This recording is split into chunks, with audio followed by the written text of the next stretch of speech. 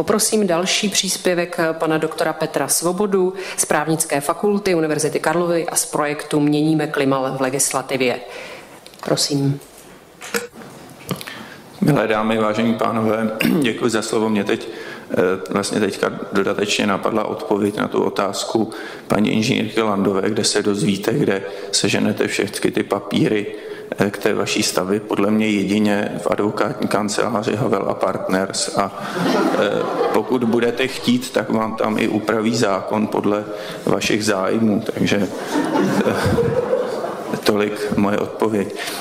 Já se budu snažit eh, držet v tom svém příspěvku eh, toho základního tématu, který tu máme, a to je ten konflikt mezi urychlením výstavby a eh, ochranou veřejných zájmů.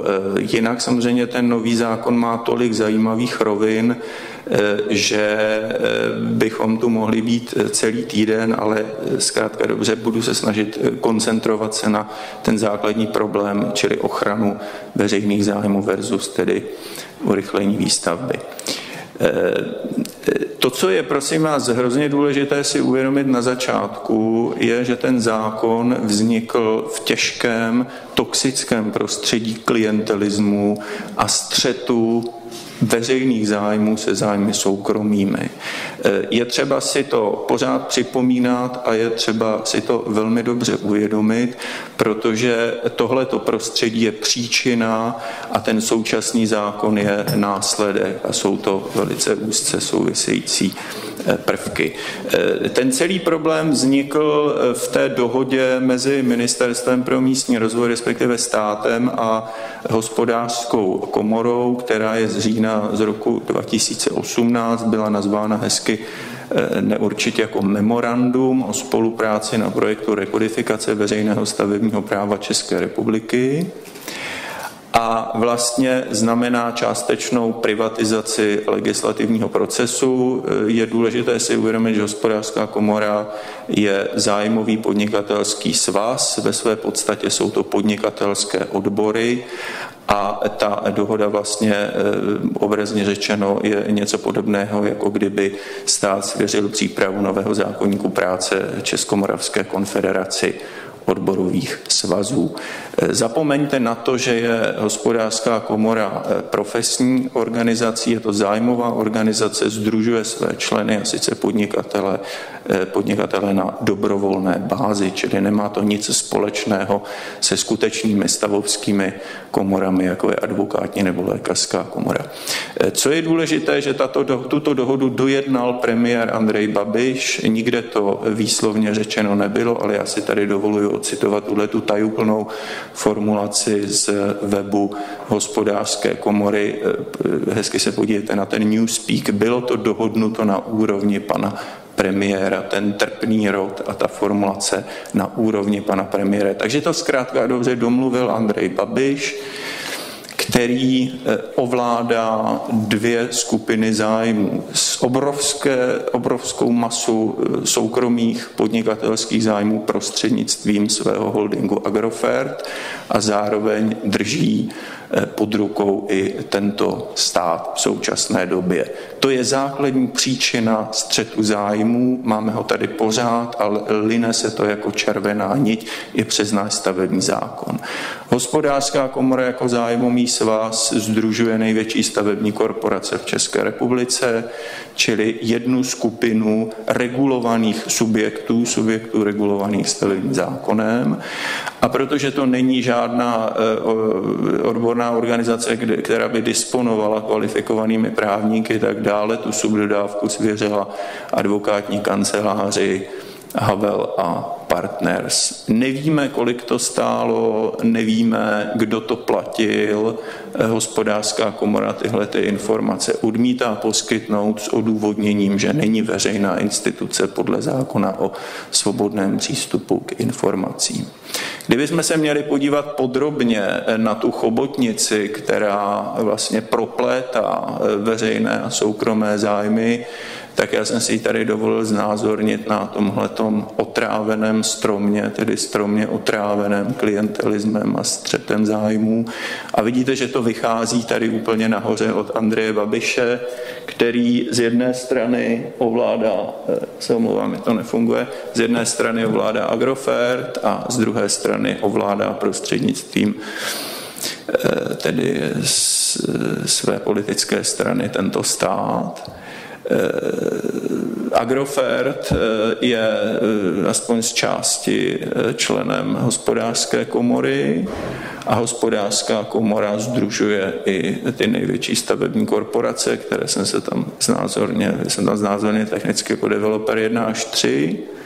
Stát uzavřel dohodu, kterou privatizoval legislativní proces na hospodářskou komoru a toto, tato dále eh, přehodila na advokátní kancelář Havel a Partners ten eh, červený smějící se panáček uprostřed, eh, to je eh, volný radikál František Korbel, který volně poletuje loni ještě na konferencích za hospodářskou komoru a nyní v současné době na legislativní radě vlády už za Ministerstvo pro místní rozvoj. Vidíte, že v tomto prostředí už ani nejde o střed zájmu, ale jde o splývání zájmů, veřejných a soukromých, kdy vlastně ty obrovské zájmové podnikatelské korporace představují jeden celek se státem. Pojďme se podívat na obsah, jak se to projevilo v ochraně veřejných zájmů toho současného legislativního díla. Eh, ten současný model eh, ochrany veřejných zájmů eh, vznikl v roce 2006 při přípravě správního řádu a má formu spolupráce mezi stavebním úřadem a dotčeným orgánem, kdy dotčený orgán ochrany přírody, lesa, e, památkové péče, požární ochrany hygieny e, vydává vůči stavebnímu úřadu ke stavbě závazné stanovisko z hlediska těch zvláštních chráněných zájmů a je v nějaké řídící linii eh, nějakého ústředního správního úřadu, ať už je to ministerstvo vnitra, ministerstvo zemědělství, ministerstvo kultury či životního prostředí. Eh, co je strašně důležité, že vlastně to výsledné povolení eh, ke stavbě je vlastně eh, formou spolupráce mezi tím stavebním úřadem a dotčeným orgánem. Ani ten jeden orgán vůči tomu druhému není právně nadřazen. Stavební úřad prostě musí akceptovat ten akt, kterým se chrání ta příslušná složka těch veřejných zájmů.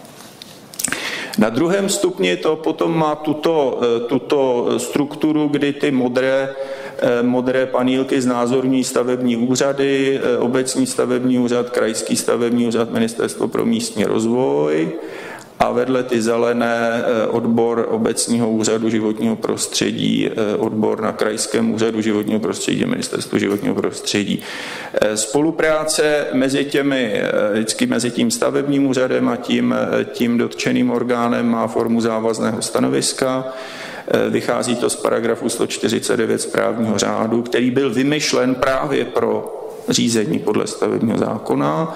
Když se stavebník nebo jiný účastník odvolá, tak potom eh, to napadené závazné stanovisko, obsahově napadené závazné stanovisko přeskoumává podle toho paragrafu 149 nadřízený dotčený orgán a dále nadřízený dotčený orgán má potom pravomoc v přeskumném řízení z moci úřední přes, zrušit nebo změnit to eventuálně nezákonné závazné stanovisko.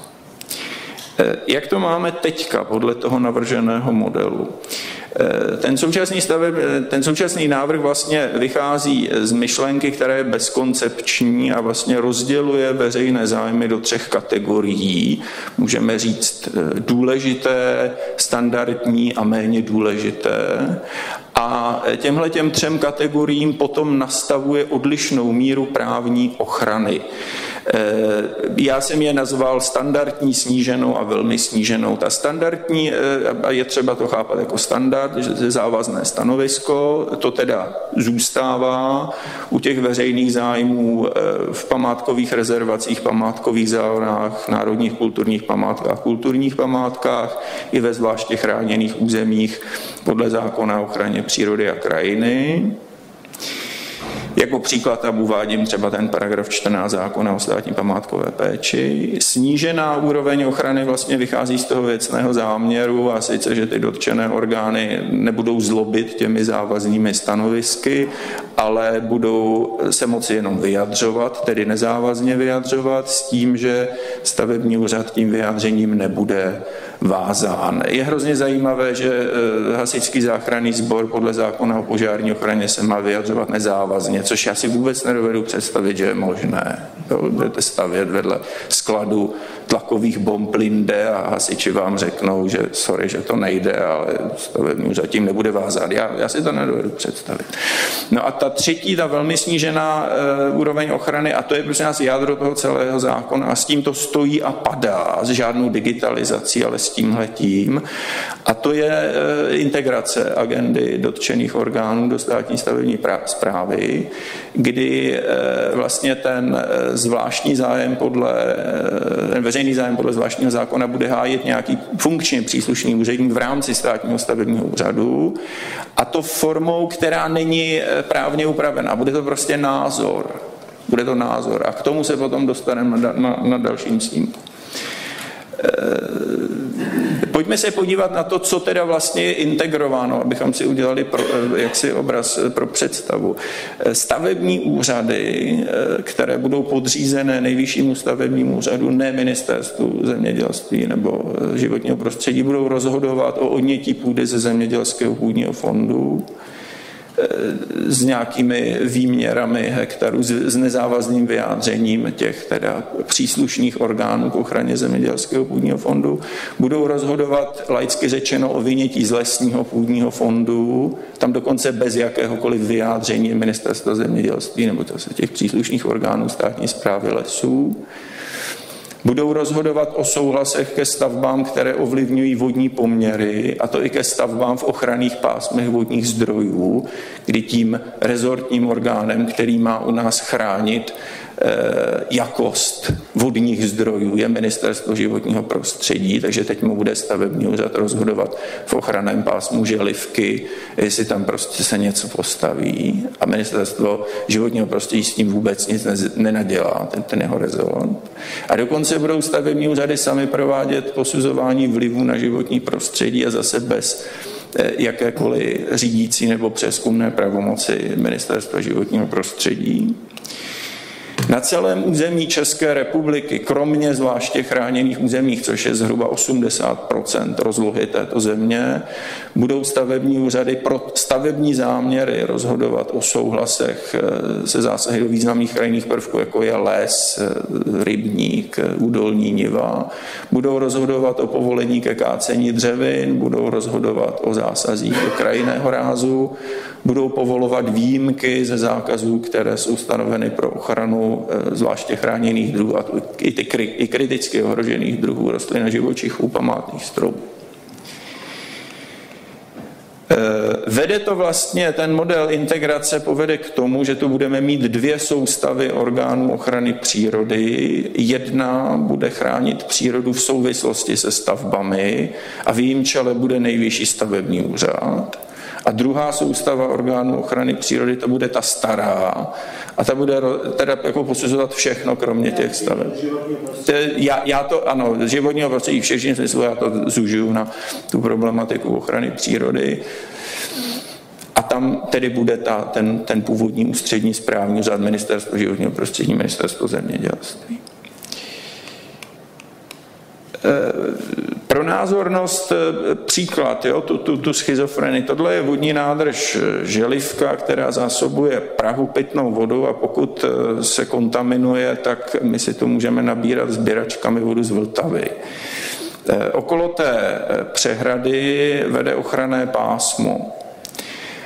A e, tam prostě, pokud něco uděláte a kontaminuje se ta voda, tak je veliký problém.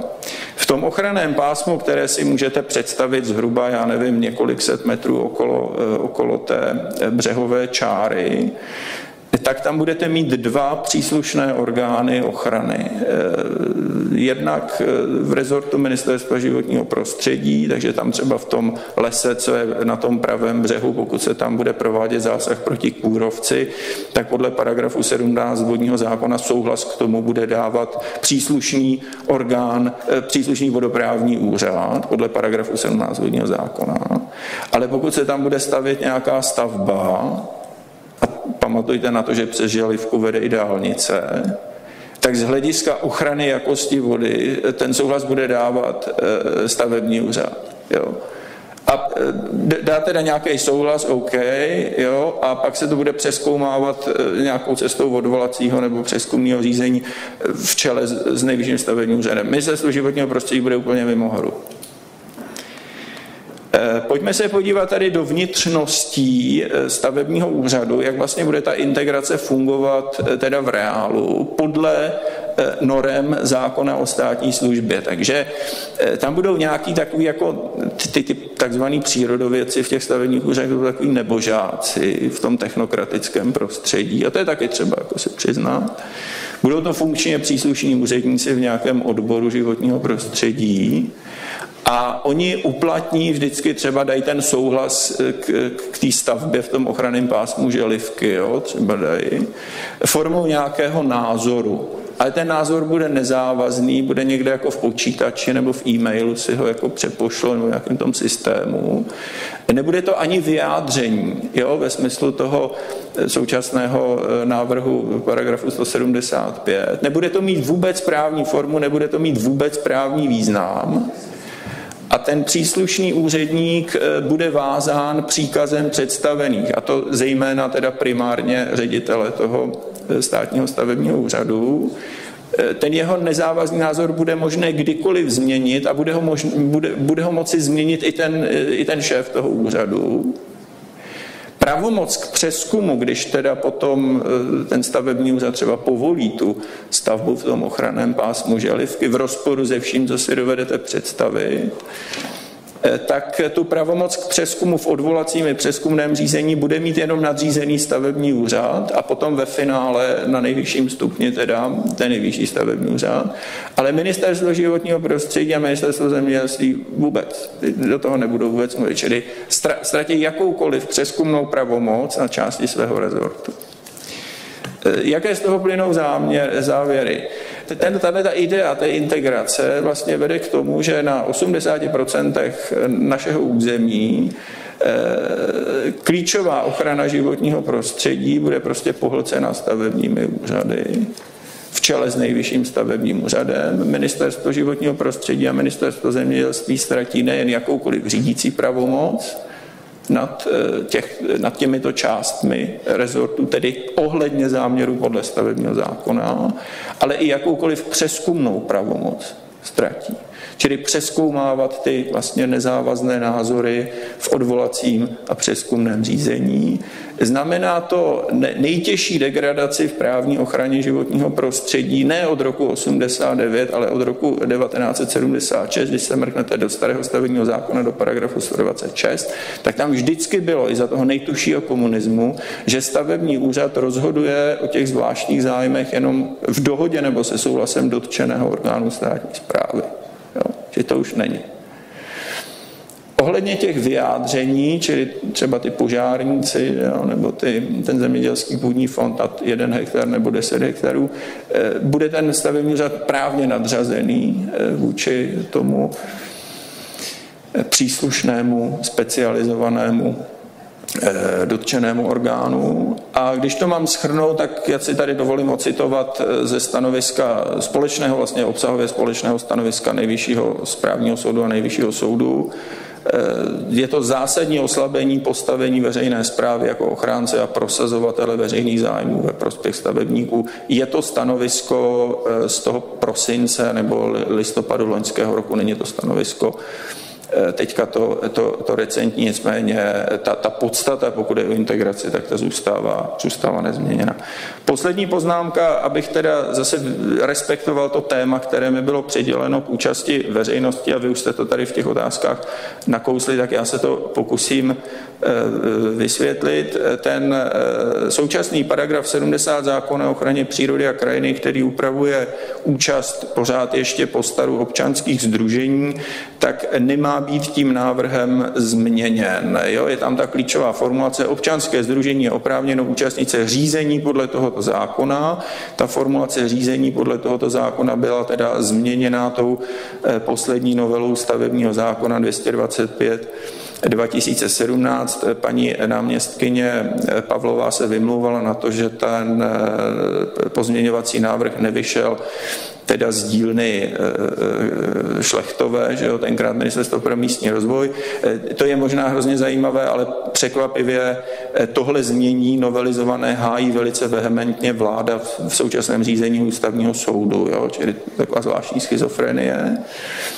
Eh, kdybychom se teda podívali, co vlastně ten paragraf 70 v tom současném nezměněném znění bude znamenat, když bude provedena ta integrace, tak to je teda pro mě fakt záhada, jo? protože když si vezmete, že teda stavební úřady eh, budou eh, posuzovat ty otázky ochrany životního prostředí, budou posuzovat krajiny ráz, povolovat kácení dřevin, budou povolovat výjimky pro chráněné druhy rostlin a živočichů a výslovně podle paragrafu 75 ve znění teda e, navrženého stavebního zákona budou orgány ochrany přírody a vlastně povedou řízení podle tohoto zákona. Čili mě by hrozně zajímalo, jak se to teda bude vykládat, hlavně jak to budou vykládat soudy.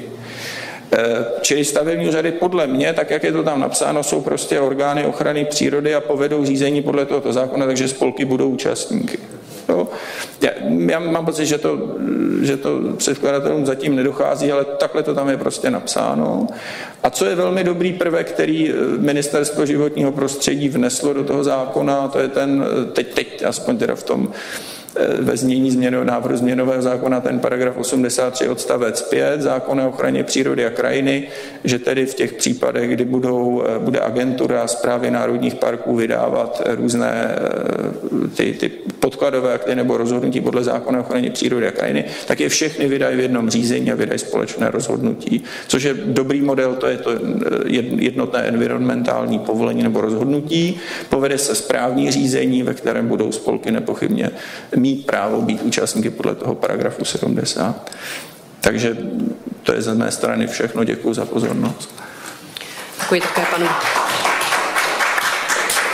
doktorovi Svobodovi. Já chci říct, že jsme měli začít debatu, ale je tady ještě jeden příspěvek. Samozřejmě debata se posunula, protože tady byla paní náměstkyně, takže ještě jeden desetiminutový příspěvek a potom máme 15 minut na debatu. Musíme ale bohužel skončit v 6 hodin a opustit tyto prostory.